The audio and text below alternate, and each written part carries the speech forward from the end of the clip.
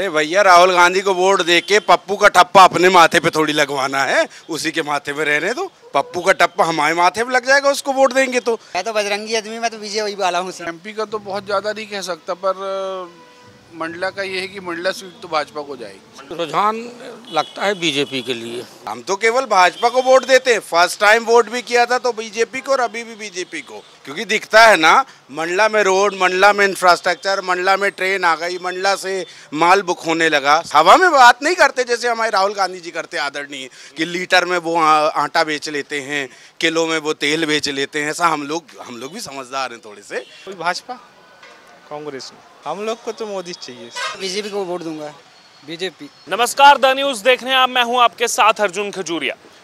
तो लोकसभा चुनाव 2024 का सर्वे करते करते अब हम आ पहुँचे हैं मध्य प्रदेश की मंडला लोकसभा सीट पर। जी हाँ मंडला में मैं मौजूद हूँ और यहाँ पर आपको बता दें कि पहले चरण यानी कि 19 अप्रैल को ही जो है मतदान होने जा रहा है और यहाँ पर भी ये जो अधिकतर क्षेत्र है वो आदिवासी बहुल क्षेत्र है। कांग्रेस की तरफ़ से ओमकार सिंह मैदान में है तो वहीं बीजेपी की तरफ़ से केंद्रीय मंत्री फगन सिंह कुलस्ते जो कई बार चुन करके जो है संसद में गए हैं, वो इस बार चुनावी मैदान में हालाँकि जो पिछला विधानसभा चुनाव हुआ था, उसमें उनको उतारा गया था, जिसमें उनको हार का सामना करना पड़ा था। अब फिर से उनको जो है वो बीजेपी की तरफ़ से ये ज़िम्मेदारी दी गई है और संसद का वो चुनाव लड़ रहे हैं। आइए अब यहाँ की जनता से जानेंगे उनकी राय चुनाव को लेकर के कि वो क्या कहते हैं, क्या उनको माहौल लग रहा है। सर, क्या नाम हुआ आपका?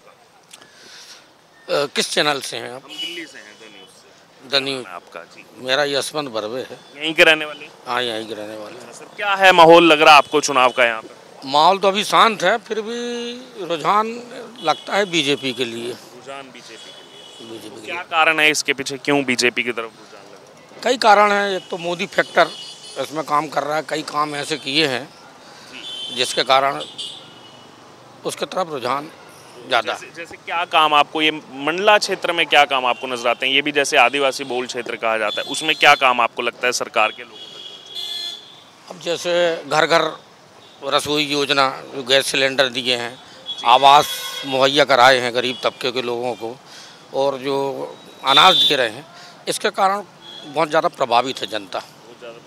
अच्छा फिर से फगन सिंह कुलस्ते को मैदान में उतारा गया है। विधानसभा चुनाव में उतारा गया था लेकिन उनको हार का सामना करना पड़ा था।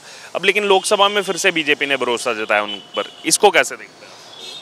अब ऐसा है उनका लोकल मुद्दा है वहाँ निवास के पास के रहने वाले हैं। अच्छा।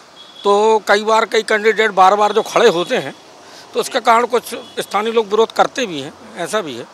जी। और बाकी आठ विधानसभा हैं इसमें। हाँ वो विधानसभा एक थी यहाँ अब आठ विधान आठ विधानसभा है लोकसभा में। तो कहीं कुछ कम कभी कुछ ज़्यादा ऐसा हो जाता है। जी जी। पिछली बार भी ऐसा ही हुआ था मगर कई विधानसभा से ये कुलस्ते जी जीत गए थे। और पूरे मध्य प्रदेश का क्या सिनेरियो आपको नज़र में आ रहा है सर? क्योंकि पिछली बार उनतीस में से 28 एक तरफा बीजेपी को हाँ इस बार भी लगता है पूरी पूरी सीट आए। और अभी बैतूल में एक उम्मीदवार का निधन हो गया है। बैतूल वाला बैतूल वाला तो हो सकता है अभी चुनाव आयोग उसमें घोषणा करे जो भी डेट निर्धारित हो जी। वो अलग मैटर है। मगर रुझान तो है। आइए और भी लोगों से चर्चा करेंगे यहाँ पर कि क्या कहना है उनका चुनाव को लेकर के क्या राय रखते हैं। जी। सर क्या नाम हुआ आपका? श्रीकांत नाम है सर। श्रीकांत जी ये बताइए सर क्या माहौल चल रहा है इस सीट पर लोकसभा चुनाव? लोकसभा चुनाव का सर बीजेपी का असर समझ में आ रहा है। बीजेपी का असर? जी। तो क्या कारण लगता है आपको कि बीजेपी का क्यों है असर यहाँ? मोदी फैक्टर है सर और कुछ नहीं। मोदी फैक्टर काम कर रहा है? जी। तो यानी काम हुआ है यहाँ विकास का मोदी सरकार? बहुत ज़्यादा तो नहीं समझ में आ रहा। मतलब जो लोकल सांसद हैं या रहे हैं कुलस्ते जी उनका कुछ बहुत ज़्यादा प्रभाव नहीं है। मोदी की लहर में ही वो निकल जाएँगे। मोदी के नाम पर जी जी। पूरे एमपी का क्या लग रहा है सर सिनेरियो आपको? सर एमपी का तो बहुत ज़्यादा नहीं कह सकता पर मंडला का ये है कि मंडला सीट तो भाजपा को जाएगी। मंडला सीट भाजपा को चलिए ठीक धन्यवाद सर। जी आपका क्या नाम हुआ सर? विकास विकास विकास विकास। यहीं के रहने वाले हैं? जी। अच्छा, आपको क्या लग रहा है इस बार? किसकी सरकार बन रही है? नहीं। हाँ। मतलब बीजेपी या कांग्रेस कौन पसंद है बीजेपी। बीजेपी। कोई कारण क्यों चाहते हैं आप? बीजेपी नहीं है। ऐसा आपका क्या नाम? अनिल कुमार अनिल कहाँ के रहने वाले हो? भीम डोंगरी। अच्छा आप बताइए आपको क्या लग रहा है इस बार? किसकी सरकार बन रही है? बीजेपी बीजेपी की बन रही है। अच्छा क्या कारण है? क्यों लग रहा है आपको बीजेपी आनी चाहिए? कोई कारण? नहीं। अच्छा करवा। ठीक है। आप कुछ कहना चाहेंगे? आपका क्या नाम हुआ? आशीष विश्वकर्मा। आपको क्या लग रहा है आशीष विश्वकर्मा जी? बीजेपी या कांग्रेस? बीजेपी। बीजेपी का ज़ोर है। अच्छा क्या कारण लगता है इसके पीछे क्यों? कारण यही है। क्या कहते हैं सब कुछ तो हो रहा है अपने इधर। है ना? यानी बीजेपी पर ज़्यादा विश्वास है? जी हाँ बिल्कुल। जी। आइए और भी लोग जो हैं यहाँ उनसे चर्चा करेंगे। चुनाव को लेकर वो क्या कहते हैं। जी। सर क्या नाम हुआ आपका? शैलेंद्र पटेल। शैलेंद्र पटेल जी आ, पहले चरण में ही मतदान है यहाँ पर। क्या है सर माहौल? क्या लग रहा है आपको रुझान? सर रुझान तो आप सब जानते हैं। सबको मालूम रुझान क्या आने वाला है। फिर भी आपके हिसाब से? बीजेपी। बीजेपी। अच्छा क्या कारण लगता है आपको बीजेपी क्यों विकास। विकास के नाम पर। जी। तो जैसे राहुल गांधी भी आए थे यहाँ इस लोकसभा सीट पर जो है प्रचार करके गए हैं उसका कुछ असर होगा नहीं? हो सर असर तो वो हो रहा अब वो सब नतीजे बताएँगे सब। जी हाँ। और उसके अलावा पूरे मध्य प्रदेश का क्या लगता है सर सर जो लास्ट बार है वो उनतीस उनतीस। अट्ठाईस आई थी छिंदवाड़ा इस बार इस बार इस बार उनतीस का छिंदवाड़ा भी जोड़ लिया आपने? जी हाँ। लग रहा है सर। चौवालीस साल से कमलनाथ जी का परिवार जीतता आया उस पर कभी वो कभी उनकी पत्नी कभी उनके बेटे। इस बार लिए थोड़ा मुश्किल लगा मेरे को तो। सर ये देखा आपने केजरीवाल वाला प्रकरण देखा होगा अगर आपने जेल में है केजरीवाल। जी हाँ। वो उस पे अभी लेटेस्ट अपडेट आया जैसे कल हाई कोर्ट वो गए थे और हाई कोर्ट ने कहा है कि हमने सबूत देखे हैं और ये प्रथम दृष्टया केजरीवाल इसमें आरोपी नज़र आते हैं इसलिए उनको ना जो है गिरफ्तारी पर रोक लगी ना बेल मिली। कैसे देखते हैं अब कोर्ट में भी प्रथम दृष्टया माना जा रहा है कि ये घोटाला सर उसके बारे में कुछ कुछ उसके बारे में कुछ नहीं कह सकते उस बारे में। ज़्यादा नॉलेज अपन उसके बारे है नहीं, अपन बोल सकते अपन। अच्छा क्योंकि वो यहाँ भी आए थे ना केजरीवाल यहाँ पर भी प्रचार करके गए आम आदमी पार्टी का पहले। मंडला पे मंडला पे सर। विधानसभा चुनाव में मध्य प्रदेश। में एमपी पे आए थे हाँ। कुछ लेकिन असर नहीं है जी नहीं। नहीं आम आदमी नहीं सर। कुछ खास नहीं। चलिए बीजेपी वर्सेस कांग्रेस है। जी बिल्कुल सर। ठीक। जी धन्यवाद सर। क्या नाम हुआ आपका? राम रघुवंशी राम जी कहाँ के रहने वाले? जी हम मंडलई के। मंडला के। क्या लग रहा है इस बार चुनावी माहौल क्या भाजपा। भाजपा? जी। कांग्रेस नहीं? कांग्रेस में क्या कारण है? क्यों है बीजेपी के साथ? मोदी। मोदी? जी। तो दस साल बाद भी मोदी का जलवा कायम है। जी। ऐसा क्या कारण है? कांग्रेस तो बोल रही है कि दस साल हो गए अब बदलाव करो अब राहुल गांधी को बनाओ एक बार। हम लोग को तो मोदी चाहिए। मोदी चाहिए? जी। तो राहुल गांधी क्यों नहीं चाहिए? नहीं राहुल गांधी पसंद है नहीं हम लोग को। पसंद नहीं है? जी। वो तो कहते हैं मैं सब कुछ करूँगा युवाओं के लिए। सब बोलते बस हैं। बोलते हैं बस। जी मोदी जो कर कथनी और करनी में अंतर होता है। तो यानी उनके उन पर विश्वास नहीं है? नहीं सर वो पीएम लागे नहीं वो। नहीं बिल्कुल नहीं। अब सर सभी बोलते हैं। दिख भी रहा। है जी। आपका क्या नाम हुआ? फटेंद्र कुमार रघुवंशी यहीं के रहने वाले हैं? मैं बमनी बंजर का हूँ। आप बताइए आप किसके किसको वोट बीजेपी को वोट दूँगा। पहले किसको देते थे? पहले भी बीजेपी को देता रहा मैं। तो दिया होगा कौन? मैं तो बजरंगी आदमी मैं तो विजय वही वाला हूँ सीधे। बजरंगी हाँ। अच्छा। हम लोग वहाँ गोटा ही है हम लोग यहीं बमनी में। फिर तो ये बताइए राहुल गांधी तो कह रहे थे कि ये बीजेपी वाले जय श्री राम बुलवा करके बेरोजगार कर रहे हैं लोगों को। वो तो बोलता ही रहेगा ना हमेशा ही बोलता रहता है और वो। बाकी तो हम लोग है ना हम लोग जानते हैं क्या हो रहा है क्या नहीं हो रहा है। हाँ, काम हो रहा है? काम हो रहा है। विश्वास है मोदी बिल्कुल विश्वास है। अच्छा आपका क्या नाम हुआ? टीकाराम यहीं के रहने वाले जी। आप बताइए आप किसको वोट देंगे? बीजेपी। पहले किसको देते थे बीजेपी। अभी तो दिया होगा। नहीं नहीं। कभी कभी कभी नहीं सर। नहीं नहीं अच्छा तो क्यों? अब तो कांग्रेस तो बोल रही है कि काम नहीं किया है कुछ मोदी सरकार। नहीं नहीं। सबसे ज़्यादा काम। सबसे ज़्यादा काम। क्या काम दिखा मोदी सरकार। नहीं काम क्या दिखा आपको दरअसल? पूरा। पूरा। पूरा काम हुआ। आपका क्या नाम हुआ? अंशु शुक्ला। जी शुक्ला जी। आप बताइए राहुल गांधी को देंगे वोट? अरे भैया राहुल गांधी को वोट दे के पप्पू का ठप्पा अपने माथे पे थोड़ी लगवाना है। उसी के माथे पे रहने दो। पप्पू का टप्पा हमारे माथे पे लग जाएगा, उसको वोट देंगे तो। हम तो केवल भाजपा को वोट देते हैं। फ़र्स्ट टाइम वोट भी किया था तो बीजेपी को और अभी भी बीजेपी को। क्योंकि दिखता है ना, मंडला में रोड, मंडला में इंफ्रास्ट्रक्चर मंडला में ट्रेन आ गई, मंडला से माल बुक होने लगा, सब कुछ हो रहा है, मंडला पहले नहीं पहले नैरो गेज थी, उसको भी ब्रॉड गेज का करना अटल बिहारी वाजपेयी ने किया। 2003 के बाद जैसे इनकी सरकार आई, काम बंद हो गया। 2014 में जब फिर से मोदी जी आए, तब काम चालू हुआ, ब्रॉड गेज हो गई। मंडला से ट्रेन जाने लगी। मंडला में मेडिकल कॉलेज का शिलान्यास हो चुका है। तो ग्रोथ दिख रही है ना? दिख रही है। हवा में बात नहीं करते जैसे हमारे राहुल गांधी जी करते आदरणीय, कि लीटर में वो आटा बेच लेते हैं, किलो में वो तेल बेच लेते हैं। ऐसा हम लोग हम लोग भी समझदार हैं थोड़े से तो दिखता है। अच्छा इस पर थोड़ी और मैं जानना चाहूँगा कि आप इस पर जो है वो रोशनी डालें। ऐसा और भी कई जगह देखा गया मेरी मैंने भी जो अ, खुद ऑब्जर्वेशन किया कि जो काम जैसे अटल बिहारी वाजपेयी सरकार में जो अ, आए बीच में उनकी गति एकदम स्लो हो गई 2004 से 14 के बीच में। फिर 14 के बाद उन्होंने गति पकड़ना शुरू किया और उसको फिर कांग्रेस ऐसे मैनुपलेट करती है कि लाया तो हम नहीं था। कांग्रेस के समय में पॉलिसी पैरालिसिस होता था। आपको मालूम है 2004 से 14 के बीच में सुप्रीम कोर्ट ना होता तो देश का क्या हो जाता? कहाँ पहुँच गए था भारत? कहाँ पहुँच गया था इन्फ्लेशन रेट हमारे फॉरेन रिज़र्व सब खत्म हो गए थे। उनके यहाँ केवल पॉलिसी पैरालिसिस था। प्राइम मिनिस्टर के पीछे एक दूसरी प्राइम मिनिस्टर की सलाहकार समिति थी आपको तो पता होगा जो सोनिया गांधी जी ने करके रखी थी वो करते थे ना तो पॉलिसी पैरालिसिस में कुछ नहीं हुआ। आप शुरुआत मोदी जी यही तो कहते हैं कि हम कार्य का शिलान्यास भी करते हैं तो उद्घाटन भी करते हैं। मोदी जी ने बेट द्वारका ओखा के बीच के पुल का शिलान्यास किया तो अभी एक महीने पहले उद्घाटन भी किया। यही फ़र्क है उनमें और इनमें मोदी जी में कि मोदी जी कहते हैं और उसको करके दिखाते हैं। यही बेसिक डिफरेंस है। कुछ ऐसा हुआ है दस सालों में जो इसी सरकार, मोदी सरकार की तरफ़ से प्रोजेक्ट लाया गया और वो शुरुआत भी हुई। 2014 2000 न- आपको पहला रेलवे बताया 2014 2014 से जो प्रोजेक्ट आए हैं वो चालू हैं वो ख़त्म होने के कगार में हालोन डैम बना है हमारे यहाँ बिछिया में। इसके बाद यहाँ पे आप डिंडोरी रोड पे चले जाओ तो तीन ब्रिजेस जो बहुत परेशानी थी रामनगर अंदर ए, क्या नाम बोल रहा हूँ मैं मुनू का सोटा कि यहाँ जहाँ की प्याज आती थी वहाँ नर्मदा जी पे एक ब्रिज था वो कंप्लीट हो गया। ऐसे बहुत सारे काम हैं जो शुरू भी इनने किए हैं और कंप्लीट भी इन्होंने किए हैं। अच्छा जैसे ये सीट जो है आदिवासी बहुल सीट है और अभी दो दिन पहले राहुल गांधी आए थे और उस दिन मैं वहीं था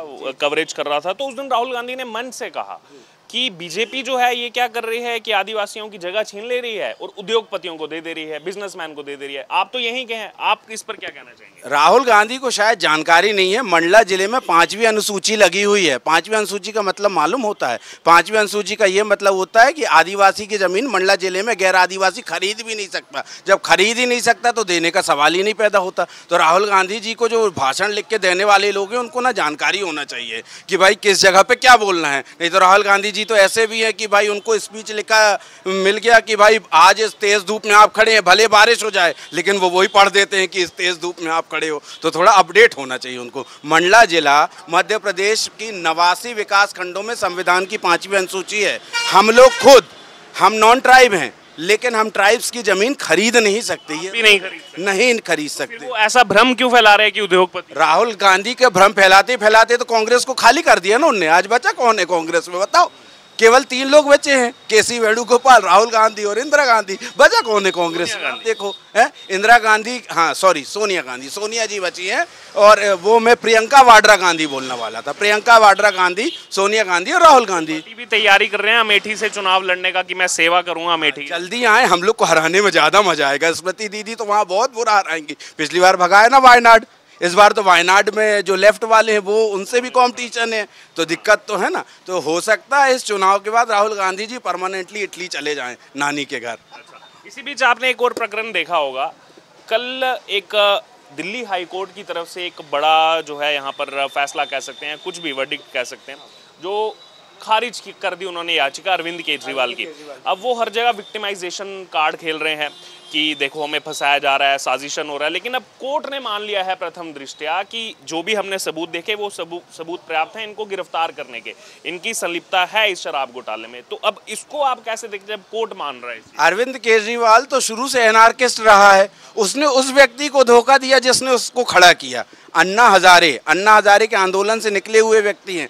जो अन्ना हजारे की बात नहीं मान रहा है मतलब जो अपने पिता तुल्य, जिन्होंने वो आंदोलन खड़ा किया, जिससे आपको सब कुछ मिला, और अरविंद केजरीवाल को देश की किस संस्था पे भरोसा है? आप बता दिए, ना उसको ईडी पे भरोसा, ना उसको सीबीआई पे भरोसा ऑनरेबल कोर्ट पे भरोसा नहीं, जबकि कोर्ट ने भी टिप्पणी की है कि आपके खिलाफ इतने सबूत हैं कि आपके खिलाफ मामला बनता है। अब उनके वकील क्या बोल रहे हैं कि आप गवाह का नाम बताओ? क्यों बता दें कोर्ट गवाह का नाम? वो तो अंडरस्टूड चीज़ है ना हाइट रखने वाली चीज़ है। तो अरविंद केजरीवाल लोग केवल झूठ, फरेब का व्यापार करते जो चलता नहीं है। आप झूठ एक बार बोल लोगे, दो बार बोल लोगे, तीन बार बोल लोगे। चौथी बार तो दिखता है ना, झूठ के पंख नहीं होते। चौथी बार आप एक्सपोज हो जाओगे, वही स्थिति अरविंद केजरीवाल की है। आप 2014 का चुनाव देखो, सातों सीट हारे, लोकसभा की बात कर रहा हूँ।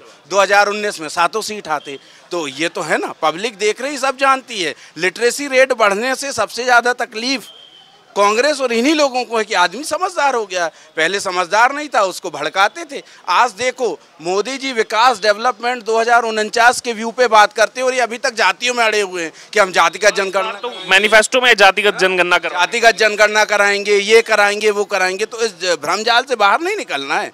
डेवलपमेंट की ओर देखो विकास की ओर देखो इतनी सारी योजनाएँ हैं मुद्रा योजना से लेके इतनी सारी योजनाएँ यूथ के लिए।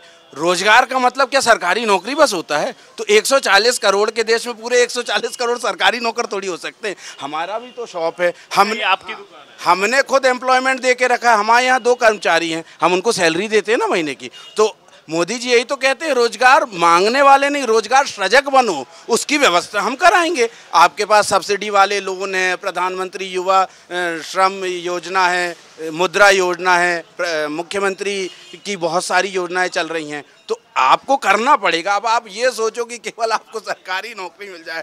दिस इज़ नॉट पॉसिबल एक आखिरी कमेंट लेना चाहूँगा। जैसे यहाँ अमित शाह भी पहुँच रहे हैं और जो उनका प्रस्तावित कार्यक्रम मैंने देखा है रानी दुर्गावती जी के वहाँ जाकर के प्रतिमा पर माल्यार्पण करेंगे। तो आ, इसमें मैं ये कड़ी जोड़ना चाह रहा हूँ कि स्वतंत्रता सेनानियों को हम सम्मान देते हैं जिन्होंने इस देश की आज़ादी के लिए सब लड़ाई लड़ी। लेकिन अब आम आदमी पार्टी का देखने को क्या मिल रहा है? एक तरफ़ शहीद भगत सिंह, एक तरफ़ संविधान निर्माता बाबा राव भीमराव, बाबा साहब भीमराव अंबेडकर बीच में केजरीवाल जी की फ़ोटो लग गई है और अब भगत सिंह के पोते ने भी आपत्ति, जो उनके बड़े भाई के पोते उन्होंने आपत्ति दर्ज करा दी। ये तो मत कीजिए। स्वतंत्रता सेनानियों से अपनी तुलना तो मत कीजिए। इस पर क्या कहेंगे? अपने मुँह मियाँ मिट्टू बनना इसी को कहते हैं। स्वतंत्रता संग्राम सेनानियों का जिनका की मतलब जिनके आदर की कोई सीमा नहीं हो सकती। आप हम उसको सीमा में नहीं बाँध सकते। पर ये लोग उनका भी अपमान कर रहे हैं। मतलब आप समझ रहे हो ना? दे आर एनार्किस्ट वो एनार्किस्ट हैं। उनको केवल सत्ता से मतलब है। मोरल की बात करते हैं। हेमंत सोरेन ने भी इस्तीफा दिया ईडी की गिरफ्तारी के पहले। लेकिन ये बोल रहे हैं कि मैं इस्तीफा नहीं दूँगा। और आप भी देश के रिनाउंड पत्रकार हैं, बहुत अच्छे चैनल से आते हैं। जेल से गिरोह चलाए जाते हैं, सरकारें नहीं चलाई जाती। तो ऐसे लोगों के बारे में तो अब हम क्या कमेंट करें? जिनको किसी पे भरोसा नहीं है, किसी पे अब ये देखो कि मतलब शहीद आज़म भगत सिंह और बाबा साहब अंबेडकर जिनके बनाए संविधान से ये देश इतने अच्छे से चल रहा है, उन्होंने सबके लिए सब कुछ किया बाबा साहब अंबेडकर ने। उस, उसके बराबर आप अपने आप को कर रहे हो तो ये तो वैसे ही अनारकी है। और ये बर्दाश्त नहीं हो सकती। दिल्ली की जनता भी समझ रही है। अब धीरे धीरे आँखें खुलती है, परतें खुलती और मंत्री का इस्तीफा हो गया आज। और उन्होंने भी यही आरोप लगाए हैं। जो इनके आनंद जी जो हैं, उन्होंने इस्तीफे इस्तीफा देते हुए यही आरोप लगाए हैं कि मैं दलित समाज से आता हूँ। कहीं इन्होंने रिप्रेजेंटेशन नहीं दिया हमको, केवल चुनाव जो है हमारे दम पर जीता। कुछ भी नहीं किया इन्होंने। हमें ना कहीं रिप्रेजेंटेशन है, ना कुछ है। और उनने स्पष्ट बोला, मेरे ऊपर कोई दबाव नहीं है, मेरे ऊपर कोई ईडी का दबाव नहीं, मेरे ऊपर कुछ नहीं है। मैंने अपनी स्वेच्छा से इस्तीफा दिया और कारण आपने बता दिया कि मेरे को केवल माउथ पीस बना के रखा इलेक्शन के टाइम में आफ्टर विनिंग इलेक्शन वही मुझे अलग साइडलाइन कर दिया। ओके तो ये चर्चा आपने सुनी। आज मंडला में हम आप पहुँचे हैं पूरे लोकसभा चुनाव का सर्वे करते करते और यहाँ पर जनता ने अपनी राय रखी चुनाव को लेकर भी और साथ साथ जो वर्तमान परिदृश्य चल रहा है उसको लेकर भी। अब आपकी इस पूरी चर्चा से जो राय हो ज़रूर कमेंट बॉक्स में शेयर करें और देखते रहें द न्यूज़ पर 2024 लोकसभा चुनाव जनता का सर्वे।